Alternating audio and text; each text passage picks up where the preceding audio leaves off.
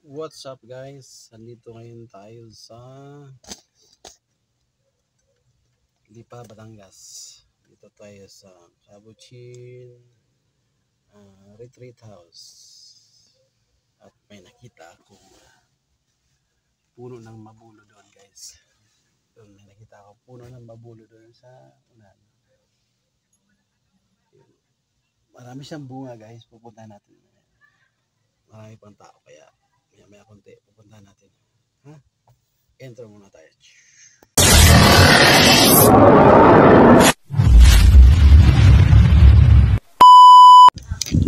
Here we go guys. Ayan. Malawag yung tripod ko. Oops. Malawag yung tripod ko guys. Puntahan natin yung mabolo medyo against the line tayo hindi na tayo mag-iingay kasi may mga nagdadasal guys. Itabi natin. Pan natin yung mabolo napakarami ng bunga. Bunga yung bunga niya nalaglag na puno. Hindi nila pinapansin ang mapuno ayun guys walang po mga pansin guys. Silagdagan na yun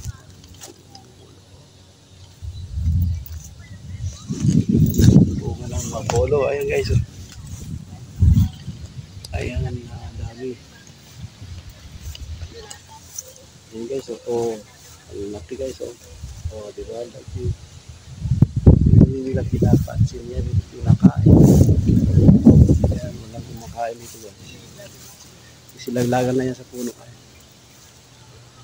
Uh, silaglagan lang sa puno guys. Ayan oh. ang laki, oh. Ayan guys. Yung itsura ng mabulo guys. Ito yung itsura ng mabulo. Ayan. Parang santol. Parang santol guys. Hinog na yan guys. oh, Hinog na. Hinog na yan. Oh, na yan. Tapos dito sa baba. Nakikita nyo dito sa baba. Ayan, sinaglagan siya guys. Ano kumakain? Ayan. Puro mabulo yan. ah. Puro mabulo yan. Ayan. Ayan. Puro mabulo yan. Ah. Bulubulok lang yung walang kumakain. Dito, taas to. Ayan, tingnan sa guys. So, baba lang siya guys. Mababa lang. Nasa lupa. Ayan. Kahit bata, pwede kumuha. Pwede ang buti ng bata. Hindi na kumakain dito. Dito lang yan sa Capuchin Retreat House. Ayan. Capuchin Retreat House, Lipa, Batangas. Ayan guys. oh. Ayan.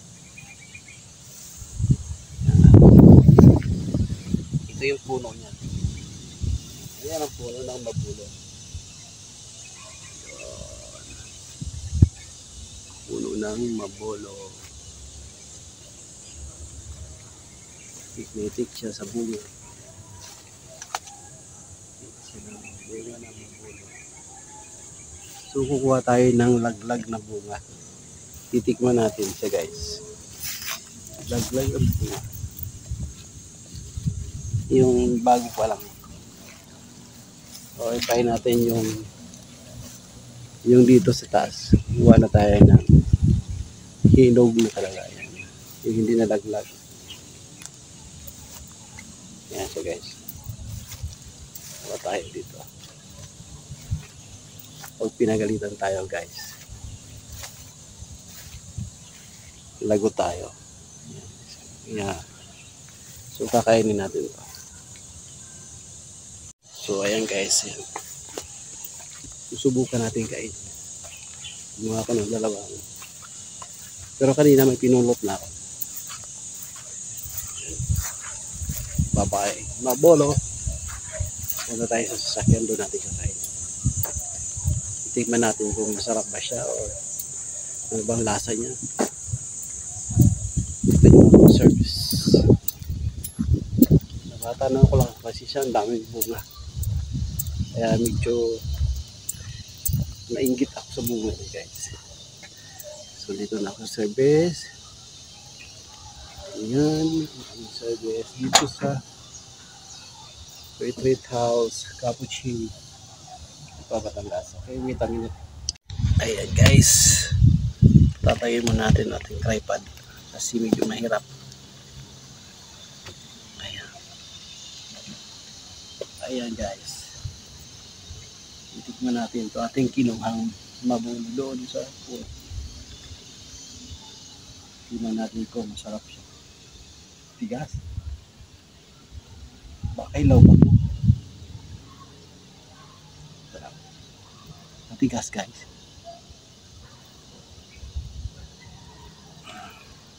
Ayun. Buksan ko. Ayan, nabuksan ko guys. Ganyan pala siya guys. Ganyan pala siya. Parang santol. Natin. Hmm.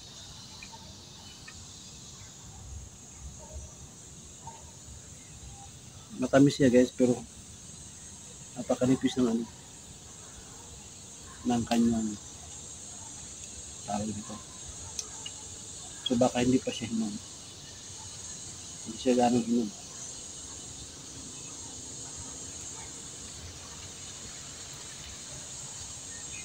Hindi siguro siya ganong hinom. Tingnan natin ito isa. Ito malambot na. Pag hindi ito masarap, ibig sabihin, hindi kinakain ng buto. Ay hindi kinakain yung sa. Nasa laman siguro dito. Sa balat. Mm. Mm.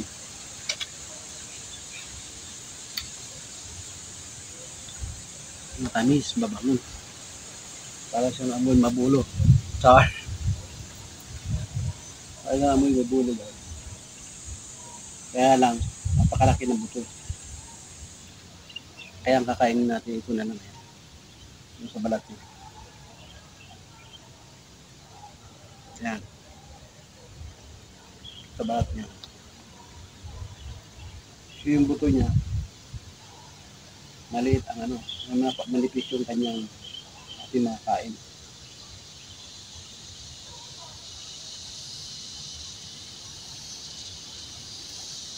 Ganyan pala ang mabulo guys.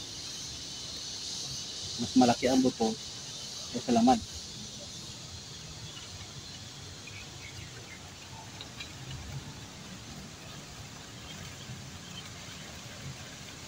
Pero yung laman niya guys, napaka nipis lang. Ano lang talaga, talaga siya. Pang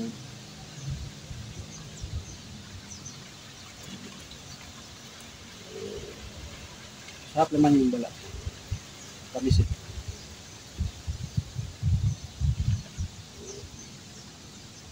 Variety ito ng santol.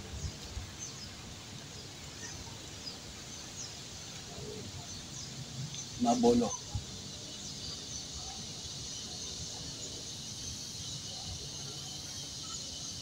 Hmm? Lalaki ng buto. Hindi lang makakain sa buto. Nakakakain ka dito sa kanya.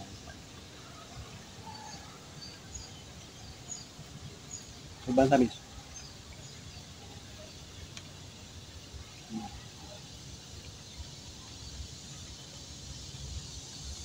Kakaba yung tamis niya, hindi siya tamis ng parang asukal.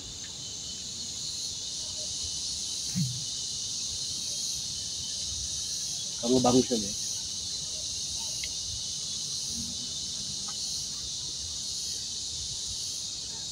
Bango. Hindi tayo makapag dag ng malakas ang boses dito guys kasi nasa paligid natin may nagdadasal. Papakita ko sa inyo mamaya. Mga kasamahan ko.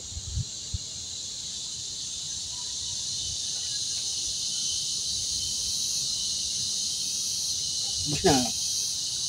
Buto na lang. Nakapagalitan tayo ng may-ari. Puli natin yan mga balat. Nakapagalit si sister. Masisante tayo. So hanggang dito lang muna guys. Hanggang sa muli. Susubaya-baybayan nyo aking video. Dahil mamaya meron pa akong susunod na video. Bibidyo ko yung mga kasama natin na nagdadasal. Tawag doon ay personal encounter sa ating Panginoon. Ah, hanggang dito muna ang ating video. Tapos uh, bibidyohan ko sila. Tapos ibo-voice out ko na lang yung aking sasabihin. Dahil bawal na bawal silang lapitan at bawal na bawal din silang kausapin. Okay? Thank you and maraming salamat. God bless.